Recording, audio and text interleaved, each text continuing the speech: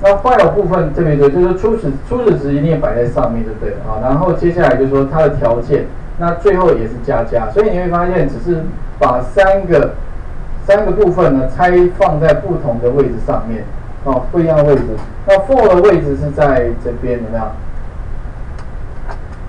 一、二、三，三个嘛，一、二、三，好，内回圈的部分，那放的位置改在哪里呢？改在这边，一、二、三，三在这里。那内回圈也是一样，好，改有没有？内回圈是一在这里，二在这里，三在这里。好，那度回圈也是一样啊。度回圈我刚刚讲过啊，其实你只要搬个位置就可以了。度回圈，有没有？只是说把度，你换回圈做完之后哦，只要把原来它这个位置改成度，有没有？然后再把它搬家，搬到下面来。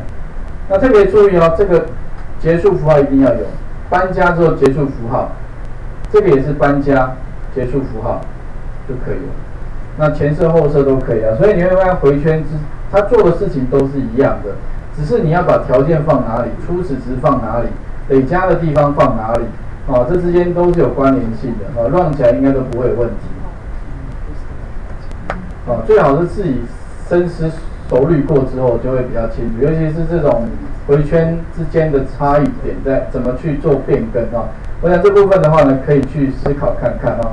我把画面呢再还给各位一下哦。好，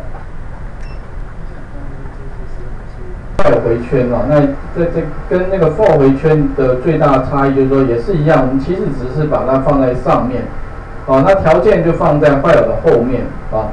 那另外就是说后面做的动作哦，累加的部分要必须给它。那差异只是说呢，它的位置不一样啊，就跟早上我们提到那个九九乘法表的位置不同而已。那另外呢，其他这个 break 的这个回圈的位置是一样的啊，然后加加的方式也是一样，主要是一二三的位置不同。